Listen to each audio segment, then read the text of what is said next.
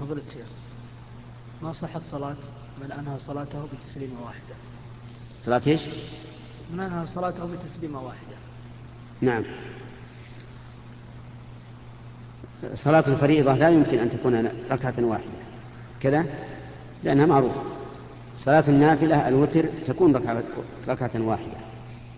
لقول النبي صلى الله عليه وآله وسلم صلاة الليل مثنى مثنى فإذا خشي أحدكم الصبح صلى واحدة فأوترت له ما صلى.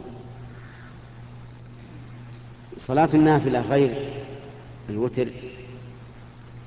صحح بعض العلماء أن يتطوع الإنسان بركعة لكن مع الكراهة. والذي يظهر لي أنه لا لا يصح التطوع بركعة. وما ورد عن بعض السلف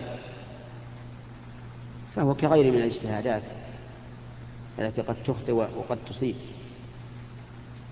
لقول النبي ودليل ذلك قول النبي صلى الله عليه وآله وسلم صلاة الليل مثنى مثنى وفي رواية صلاة الليل والنهار مثنى مثنى.